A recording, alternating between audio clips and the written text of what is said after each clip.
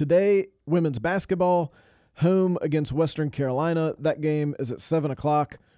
It's going to be holiday shirts. Hmm. I saw that on social media. If you're one of the first, I think 500, um, Tar Heels looking to to get back in the win column before the women's team also heads to Charlotte next week as part of the Jumpman Invitational. And then on Saturday, there's wrestling that's in Chapel Hill against Morgan State. That's at 5 o'clock.